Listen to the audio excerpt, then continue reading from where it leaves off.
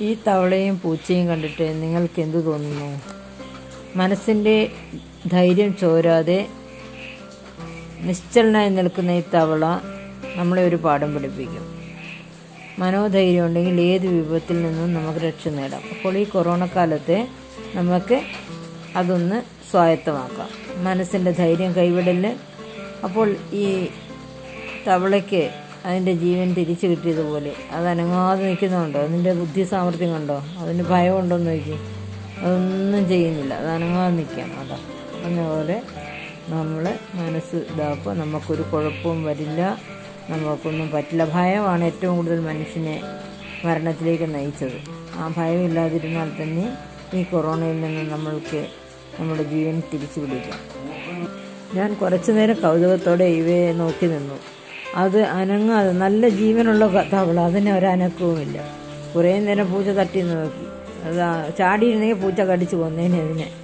അത്രയും നേരം അത് അനങ്ങാതെ അവിടെ നിന്നു. അപ്പോൾ അതിന്റെ മനസ്സിന്റെ ആ ഒരു സ്ട്രെങ്ത് ഞാൻ ആലോചിക്കുകയാണ് തവള വെറും തവളയാണെങ്കിലും കേവലം തവളയാണെങ്കിലും അതിന്റെ ആ സ്ട്രെങ്ത് അതിന്റെ ഒരു ക്രൈസിസ് പൂച്ചയുടെ മുമ്പിൽ അകപ്പെട്ടു. ഇനി ഞാൻ ഇങ്ങനെ നിന്നാൽ പറ്റില്ല. ഞാൻ അനങ്ങിയാൽ എന്റെ കാര്യം പോക്ക എന്നുള്ള മനസ്സിലാക്കിയിട്ട് അത് പൂച്ച കാലുകൊണ്ടൊക്കെ തട്ടി നോക്കുന്നുണ്ട്. ഇതിങ്ങനെ കുറച്ച് കാലിങ്ങനെ ഇതായി. എന്നിട്ട് അനങ്ങാതെ അവിടെ കിടക്കുന്ന പോലെ കിടന്ന് അനക്കമില്ല ചത്ത ഒരു സാധനം കിടക്കുന്ന പോലെ. കുറച്ച് നേരം കഴിഞ്ഞപ്പോൾ തവള ചാടി ചാടി അങ്ങ് പോവുകയും ചെയ്തു. അതാ രസം.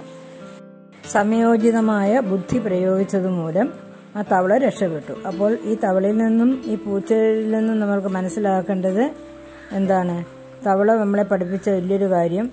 നമ്മളെ പെട്ടെന്നൊരു ഭയപ്പാടിലേക്ക് പോകരുത്. അത് വളരെ ശ്രദ്ധയോടെ എന്താ പറയുന്നത് ഭയം വേണ്ട കരുതൽ മതി. നമ്മൾ ഭയമില്ലാതെ കരുതലോടെ നിന്നുകൊണ്ടാണ് തവള രക്ഷപ്പെട്ടതെന്നുള്ള പാഠമാണ് നമ്മളെ പഠിപ്പിച്ചത്. അതുകൊണ്ട് ഈ കൊറോണ കാലത്ത് ഭയം വേണ്ട കരുതൽ മതി.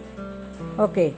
എല്ലാവർക്കും നന്ദി നമസ്കാരം. ഇങ്ങനെയുള്ള ചെറിയ ജീവികൾ നമ്മളെ പലതും പഠിപ്പിക്കുമെന്ന് ഞാൻ നേരത്തെ ഒരു വീഡിയോ പറഞ്ഞു. സത്യമായ കാര്യമാണിത്. അവയിൽ നിന്ന് ഒരുപാട് കാര്യങ്ങൾ പഠിക്കാനുണ്ട്. തവള നമ്മൾക്ക് വർഗാസം വന്നുകൊണ്ടിരിക്കുന്ന ഒരു ജീവിയാണ്. അവയെ നശിപ്പിക്കരുത്. ആ ഒരു കാര്യം കൂടെ നമ്മളെ കൂട്ടത്തിൽ ചെയ്യണം. അവയ്ക്ക് നമ്മൾ പരിരക്ഷ നൽകണം. ഇങ്ങനെയുള്ള ജീവികളൊക്കെ ഉണ്ടെങ്കിലേ നമ്മുടെ സന്തുലിതാവസ്ഥ വരത്തുള്ളൂ.